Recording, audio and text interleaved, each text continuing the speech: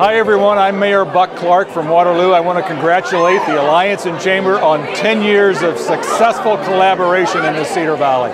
David Brayton, publisher of the Courier. Hey, I want to just congratulate the Cedar Valley Alliance on their 10th anniversary.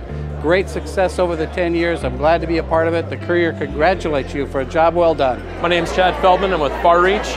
Uh, congratulations on 10 great years. I'm Eric Braley with Around the Corner Productions, the Cedar Valley Alliance and Chamber. 10 years, that's a big deal.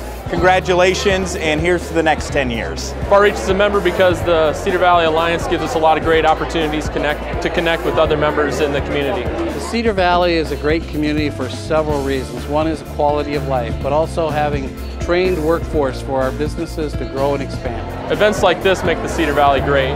Uh, you come in, 600 people, and you know probably half the people here.